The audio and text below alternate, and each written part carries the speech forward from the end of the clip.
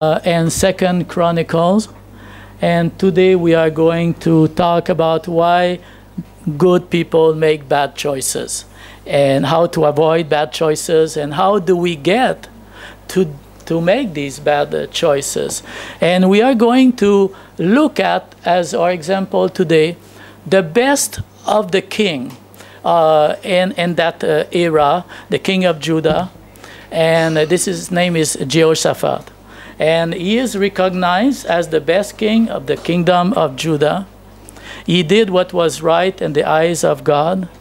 He was 35 years old when he became king and he reigned for 25 years.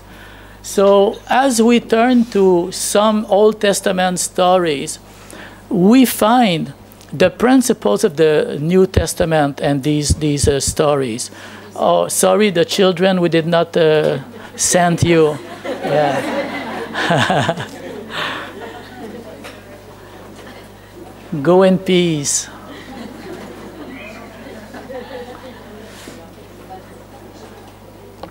These examples are so uh, useful to, that we recognize ourselves. We see that.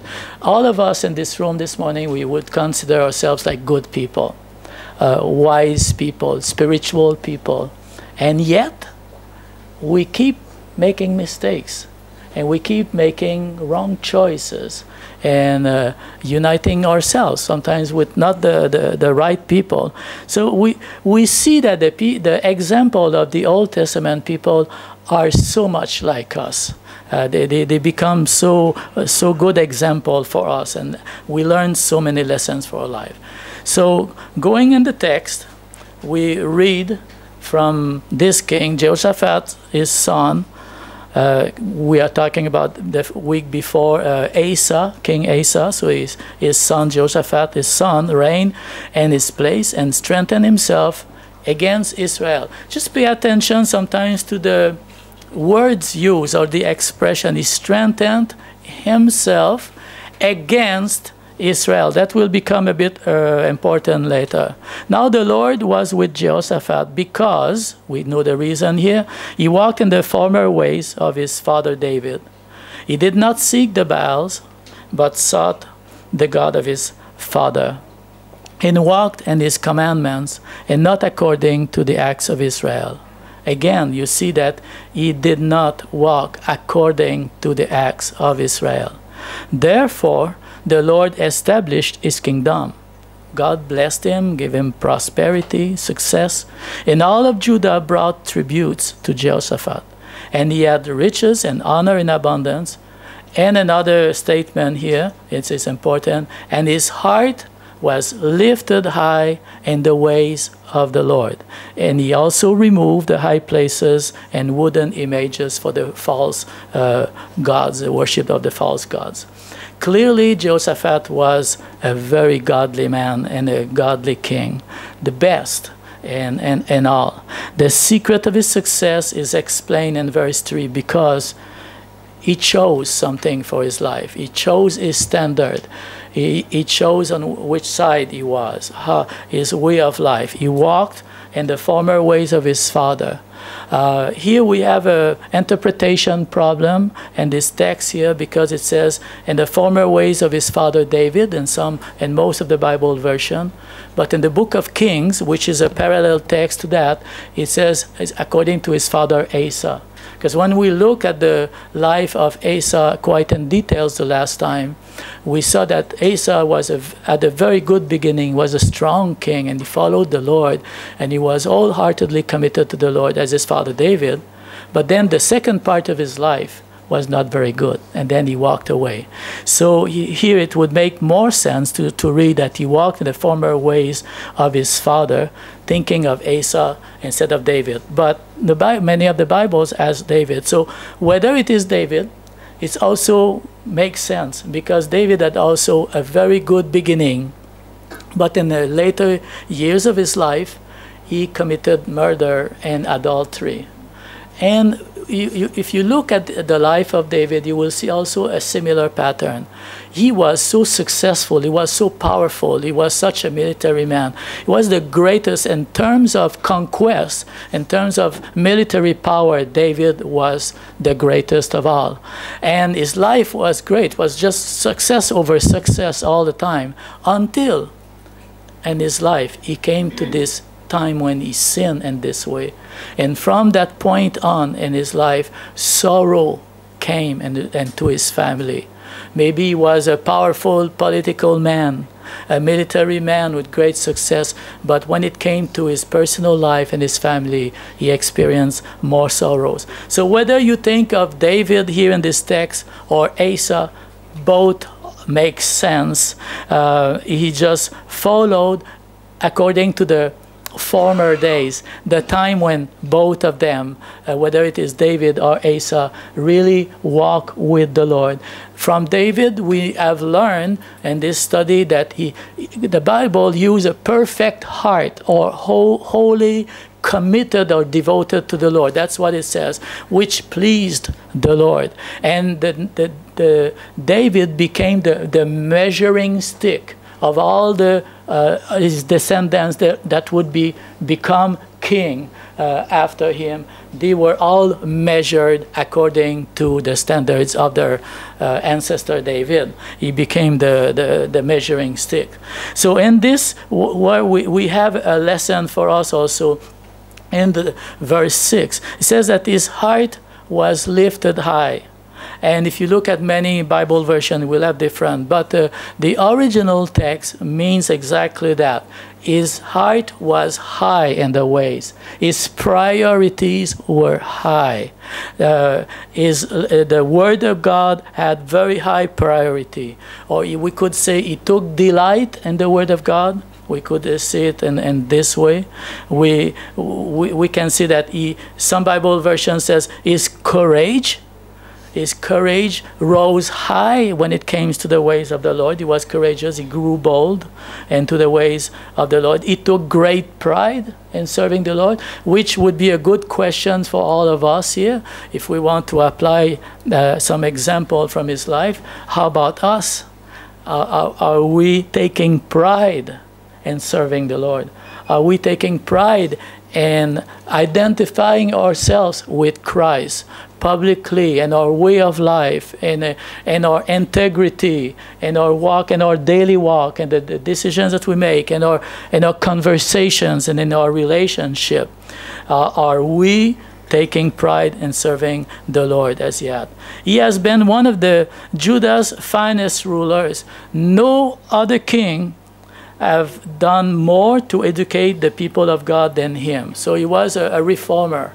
He, he was kind of a preacher, a teacher of the word of, of, of the Lord. And he sent out teachers to instruct the people. He did more than anyone else, and we will see it in this text here. In the third year of his reign, he sent out the following officials to teach in the cities of Judah. They took copies of the book of the law or the scroll of the law and traveled around through all the towns of Judah teaching the people. Then the fear of the Lord fell over all the surrounding kingdom, so that none of them wanted to declare war on Jehoshaphat. Many brought gifts and silver as tribute. So Jehoshaphat became exceedingly powerful. God has blessed him. So this king conceived a system for educating the people in the Word of God. This has never been done because most of the king before, they went and destroy the, the, the worship, the high places, the idols over the land. So they, they took an actions to destroy, but none of them really until him has taken a positive step to, to go and teach the word. How can you live according to the standards of God if the population don't know about it? So he really did send, he organized a group of priests and qualified people to go around and teaching the people uh, from God's law. No one else traveled the land like this with the goal of systematic teaching of the Word of God. So we can see in a way that he became the ancestor of Christian education. Uh, he, he has done something that had never been done before.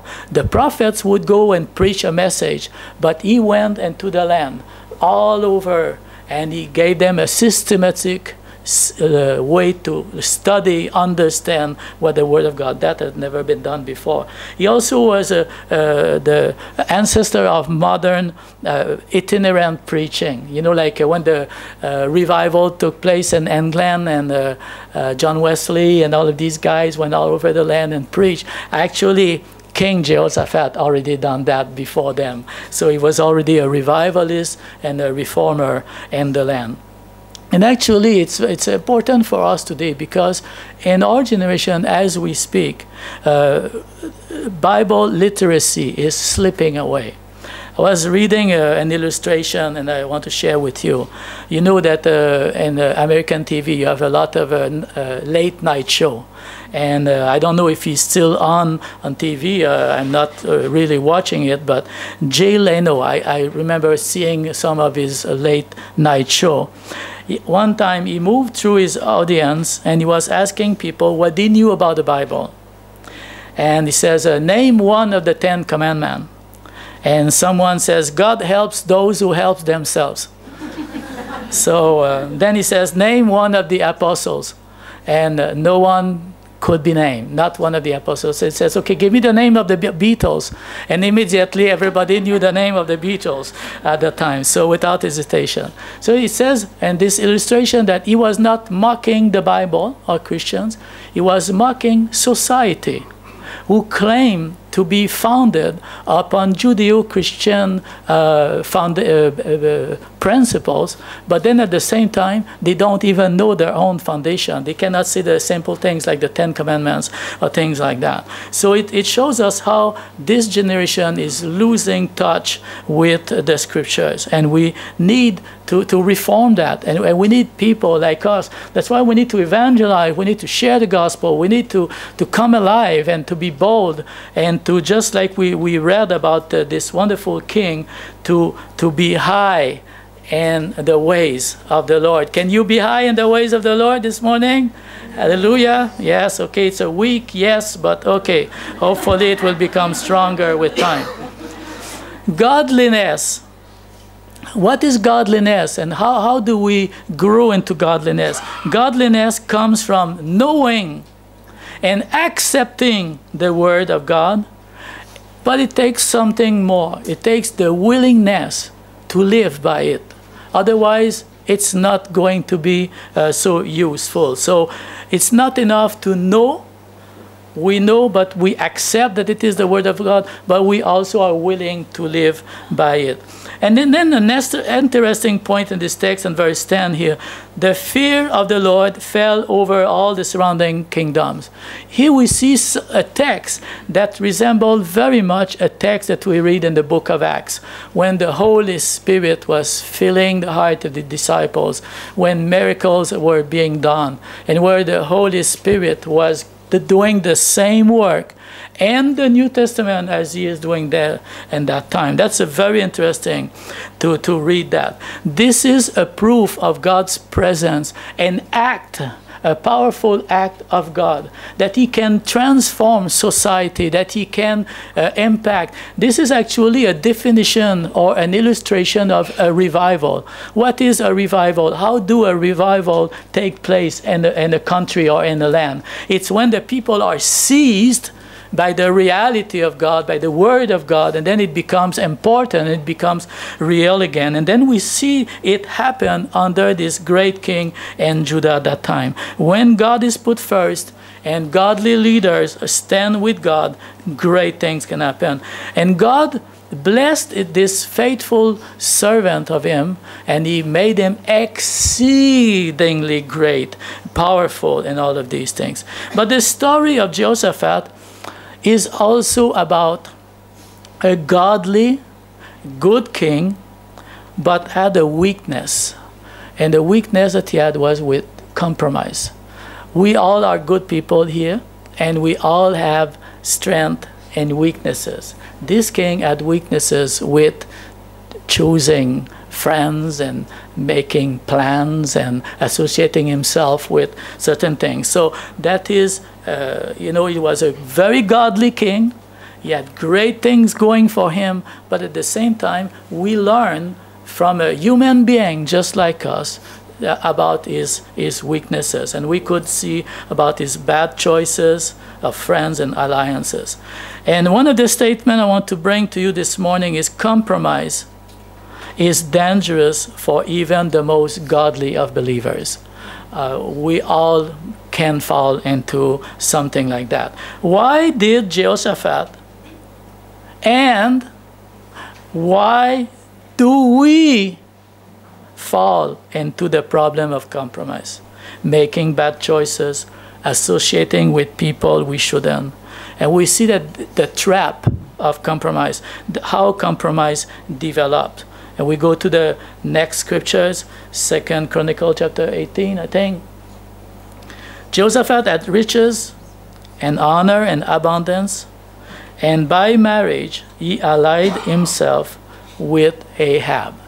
He joined affinity in the King James, I think it says with him. Like he, he joined in marriage. He made a covenant with the king of Israel that was the, one of the most ungodly king ever.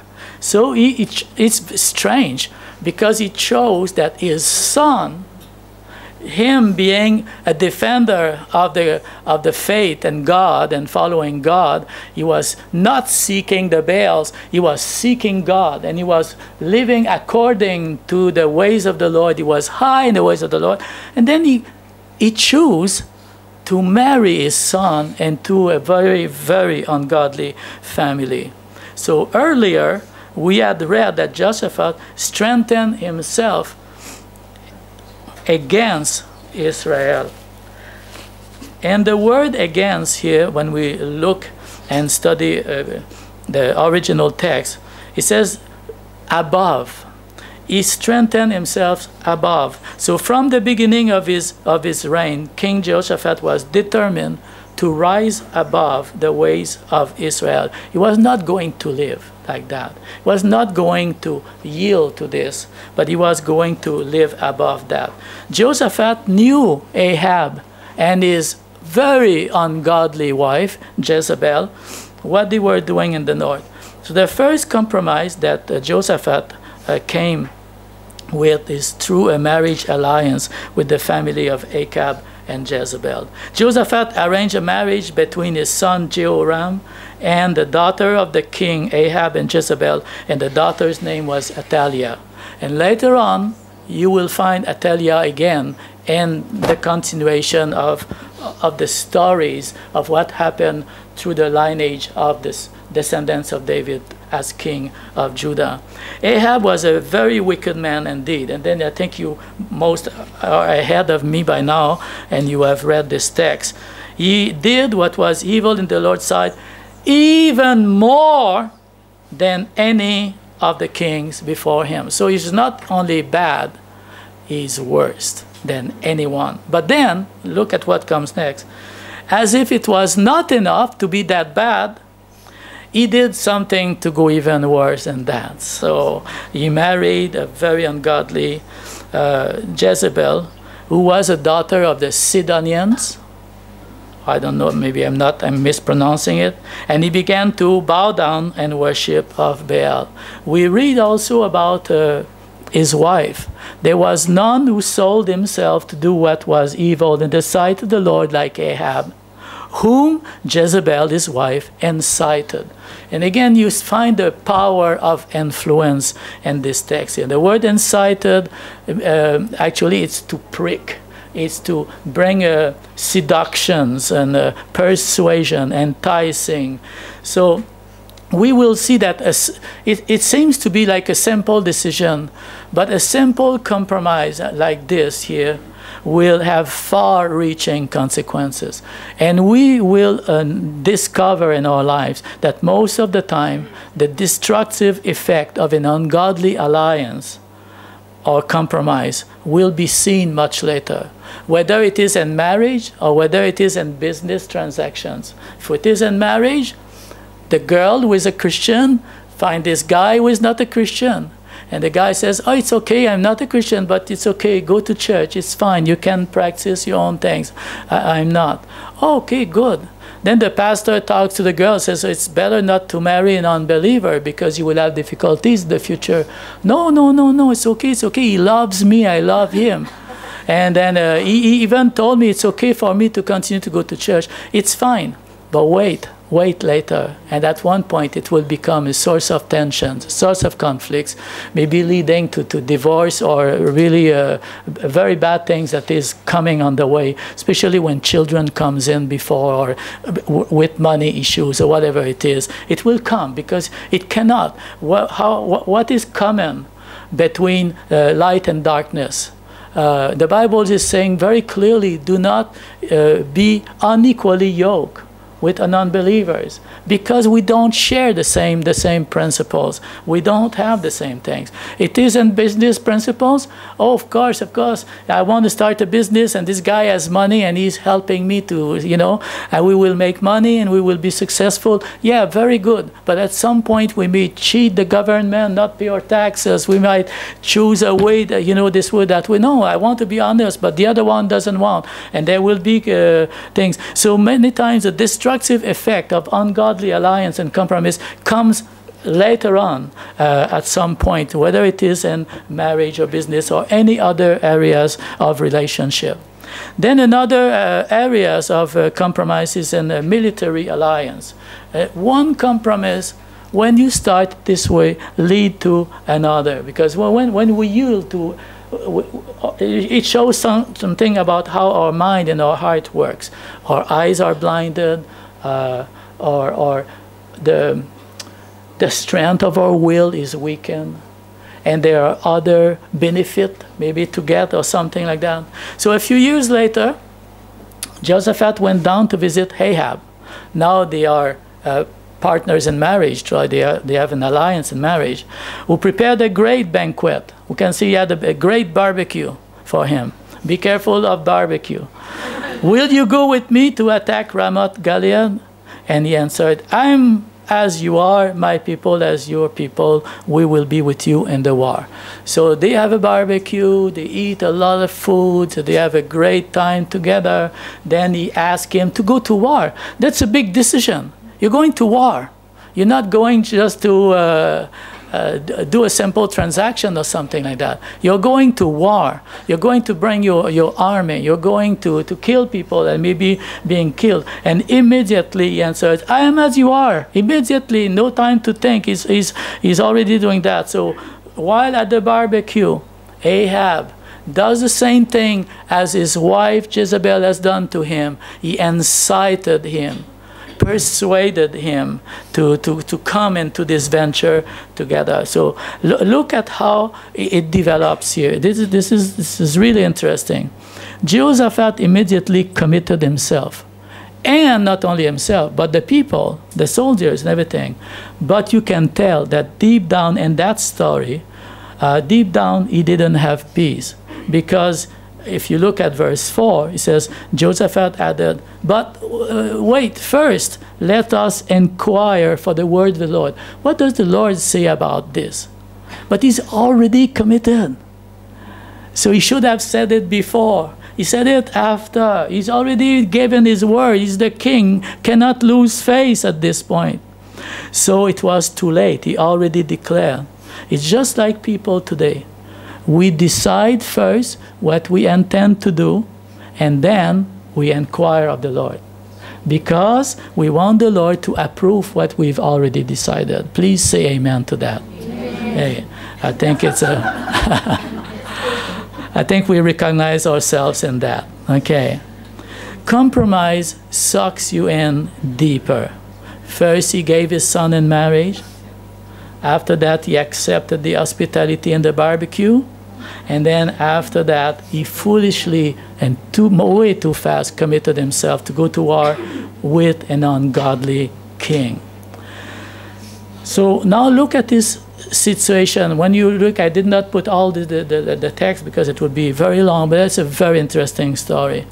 Now he is this this, this godly king, followers of God, is sitting surrounded by 400 false prophets who are saying all sorts of false messages.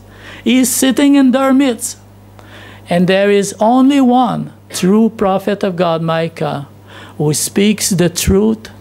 And he is the godly king who watched this prophet being slapped around, beaten, tied, and thrown in prison. And he doesn't even raise his voice, intervene, oppose this unfair treatment of the only true prophet of God. That's what compromise uh, leads us to. It sucks us uh, deeper. But I have given my word. It's like a boxer who trained himself for the big fight. And then just before the fight, his opponent invites him out for dinner and he slipped poison into his coffee. So there would be not big fight and not big win because he's already down. So when Micah, the prophet of God, spoke to the two kings, he announced in advance that the battle will not go well for them. The word of the Lord, he says, first inquire of the Lord. The prophet says it's not going to go well, and even prophesied clearly that King Ahab will die in that battlefield. And these two kings ignore the warning and just go on to battle. That's what happened. They disregarded God's guidance. And we can see here the de deceptive power of compromise. Remember the story of Lot in the Bible? Lot had compromised and he was living in the city of Sodom. And the angel of the Lord came into Sodom to rescue Lot, to save him out of the city. How much pulling and dragging they had to do.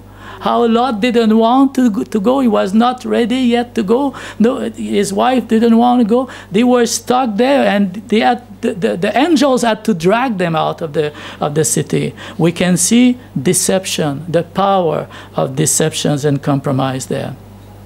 In order to know, if you are to inquire of the word of the Lord, when you make decision, you must first be willing to listen to what God is going to say, what other Christians is going are going to advise you. If they are Christian, if they are spirit filled, if they are true friends, they will come up with some advice to you. So you would you should be able to willing. But you know sometimes what you find, and I've already mentioned it, but people come to you for advice because they want you to agree with them. And if, if, if you don't, then they will just disregard your advice and just, just find another one. So first, if you want to inquire of the ways of the Lord, first be honest with yourself and be willing to obey and, and, to, and to listen and be prepared to obey. What is a compromise? I was thinking of that, and this is the definition I came up with. Compromise is also knowing the Word of God to compromise, you, you must know it first because you, you, you choose something else. But you know. If you don't know it, you're not compromising because you are ignorant. You're just doing whatever. But if to be called a compromise, you need first to know what the word says. You accept that it is the word. You, you know the word. You've been reading the word. You know what it says. But you choose not to follow it. And that's what a compromise is. Not willing uh, you have already chosen to do something that you believe will benefit you more. You've already made your mind, so you compromise because you have another way around. You think you will get more. You think you will benefit of that. And it is because of human reasoning and justifying our actions while at the same time we are minimizing the neg negative effect or the negative consequence. We make it like it's not really a big deal. It's not going to touch other people. Nobody will know. It's not going to affect nobody but me, blah, blah, blah, blah. We are very good in justifying uh, our bad actions. Would you say amen to that as well? Okay, okay. You are so honest today. So they, they, they, they both uh, disregard the king, uh, the, the prophet's warning. Ahab is killed on the battlefield. And then I think here, you see how God is so gracious. You know, don't be discouraged this morning, even though you recognize, you know, the, the, weaknesses and, and so many times we make the wrong decisions and we, we deceive ourselves so many times and we, we want to do what we want to do. Don't, don't, don't beat yourself too much because God is so gracious and God is not finished with us. And He, he, he can restore you, he, he, he can forgive, and He can teach us some good lessons and transform our life, as we can see in this text here. The, on the battlefield, the, the enemies commanders, they saw King Jehoshaphat dressed as a king. Ahab disguised himself as a, as a normal soldiers. So the, the, the, the, all the military forces turned to King Jehoshaphat. So when they came to kill the king, he cried out, I think we read it here, Jehoshaphat cried out, and the Lord saved him. Who saved him? He was foolish. He already disobeyed the Lord. He's already made up his mind. He already disregarded the Lord. But the Lord is so gracious, He saved him, and God helped him by turning the attackers away from him. God is so wonderful. Say amen to that. Amen. Only by God's grace we can survive in this life. Hallelujah. If you remember, many of us, maybe we have not read this text for a long time, but I went through quickly last night. Romans chapter 3, when it concludes that all of us are under the power of sin. This story reminds us of our sinful nature.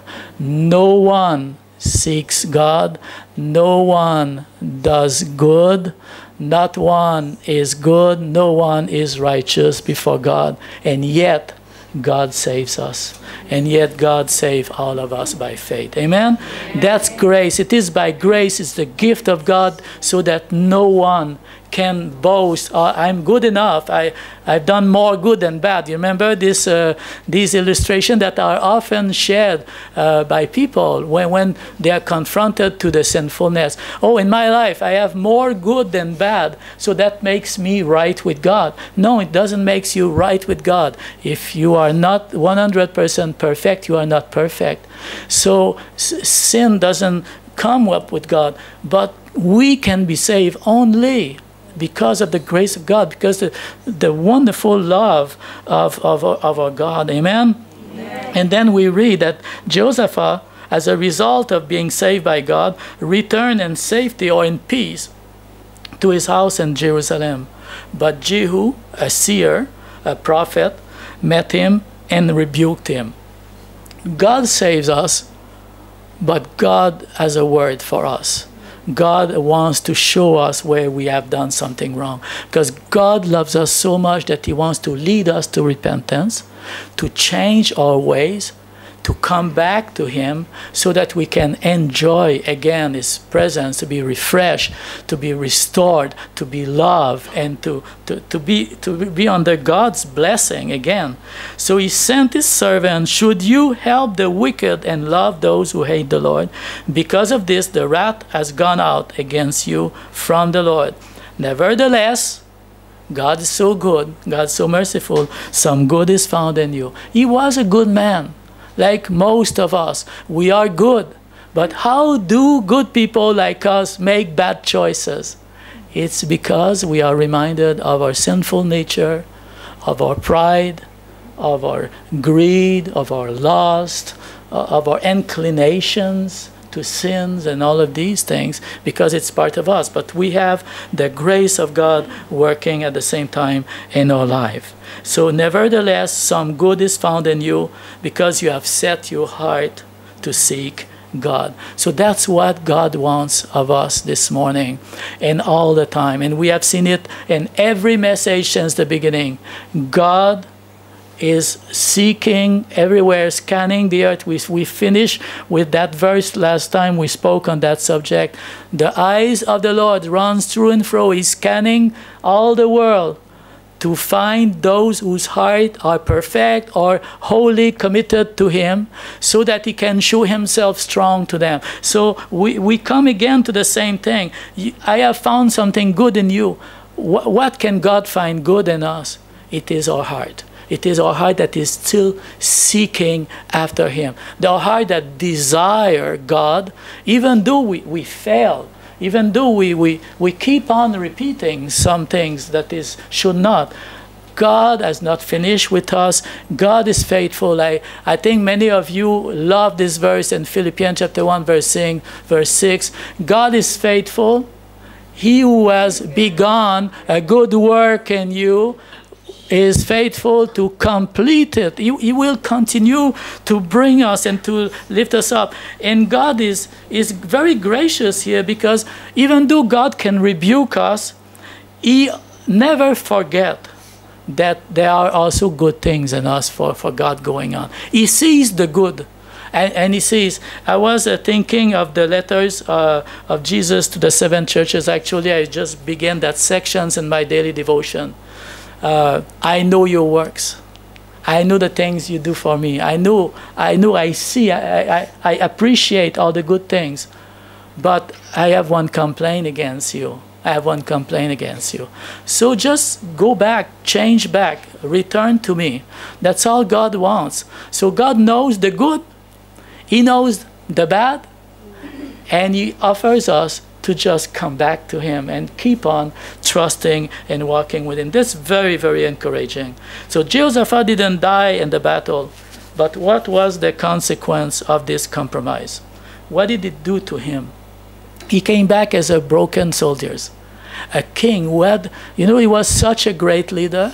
He built an army of 1,200,000 soldiers. That's what he did. He was exceedingly great and powerful. He brought reforms in the education, he brought reforms in the justice system. He was a great, great king. But now he went to war with an ungodly king. He had been warned by God. He disobeyed, he disregarded. God saved him. And now he's coming back of that uh, near death experience and he's learning a lesson. He's learning a lesson and he's willing to change. There's an illustration I want to uh, share with you. There's a little boy who had a bad conduct, and the father told him, Every time you will be naughty, I will uh, drive a nail in a post. So, of course, there was a lot of nails in the post.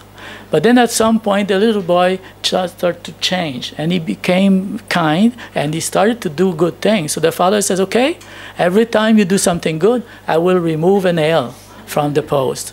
Okay, so after a while, he does more good things than bad things, and he, the father invites the boy to go to the post, and he's going to pull the last nail. So the little boy was not happy, but dad, the holes of the nails are still there. So, son, the nails that I have removed is my forgiveness, but the mark of the nails is still there. And that, that, that teaches us a, a, a, principle in our life about, about consequences and things like that. God's forgiveness is always there. God's faithfulness is always there. Amen? Amen. So it was a near-death experience, and we will finish with that story for this morning then we see his repentance. Then he went back to live in Jerusalem. It means that he dwelled in Jerusalem. He went out again among the people from Beersheba to the mountains of Ephraim. Beersheba is the southern borders of the kingdom of Judah. Mountains of Ephraim are the northern kingdom. So he goes all over the land where he is king. And he is showing fruits of repentance. The people that he misled through his wrong alliances is going to bring them back the Lord. So he's not only showing repentance to God, but he's really changing. He's really returning to the people and bringing the people, uh, influencing them back to bring to the Lord. And then that's when he inaugurated a, a, a reform, a, a, judicial system, a, system of justice that would be very good. And uh, we read in this text, take heed. He sets up judges to go through all the land. And then he says, take heed to what you are doing, for you do not judge for man, but you are judging for the Lord. And the Lord is with you in judgment. And let the fear of the Lord be upon you. And that is the best advice that He has given us. When you make decisions, when you are going to ally yourself uh, with someone else, when you're going to do a business transactions, when you are going to make such an important decision as getting a boyfriend or a fiance or something, when you are going to, you know, establish your circle of relationship, do it in the fear of the Lord. Let the Lord be part of your of your decision, and that is such an essential principle for our life. Amen. Amen. Hallelujah. Let me just. Uh, share with you. La, la, la, la. I'm skipping a little bit because there's more and there's story, but because of time, I just want to, okay, look at uh, these uh, scriptures here. Just a reminder of just Joshua's life, some of the highlights and some of the lessons we can learn. Now the Lord was with Joshua, Joshua, Jehoshaphat, because he walked in the former ways of his father. His heart was lifted high in the ways of the Lord. Nevertheless, some good is found in you, for you destroy the, the idols and you have set your heart to seek the Lord. And then I come to the New Testament and these parts here. He saved us not because of the righteous things, of the good that we could have done, because we do good things mixed with not so good, but because of His mercy. And the story of the Bible is the story of God's mercy. The story of the Bible is redemption, it is salvation, it is rescue, all because of the mercy and the love of God. Revelation chapter 2, verse 2. I know all the things that you do, that I have seen your hard work and your patient endurance. And then says, I have one thing against you that you have forsaken your first love. Now turn back to me and do the works that you did at first. So we, we all err at some point and we, we miss the mark. Uh, the, the, the, definition of sinning in the New Testament uh, from the Greek word hamartia Actually, it has become a branch of theolo theology, hamartiology, that is the, the, the, branch of theology. It means the study of sin. Uh, and it, it is based on that, it is missing the mark. And we all have that uh, potential in our lives. Even though we, we, we seek the Lord, even though we have uh, high, uh, we, we set high in the ways of the Lord, even though we have done good things for the Lord, there are times where we miss the mark. But the mercy of God lasts forever. And this is how we will make it to heaven. So, in our discouragement, in our difficulties, in our temptations, in all the wrong areas of our life, and where we have flaws in our life and compromise and made wrong choices in the past, and some, some of us are, have to live with some of these consequences even today. And many of us have regret from the past. God is love and the grace of the Lord is part of our life. Amen? Amen? Hallelujah. Would you stand, please? Praise God.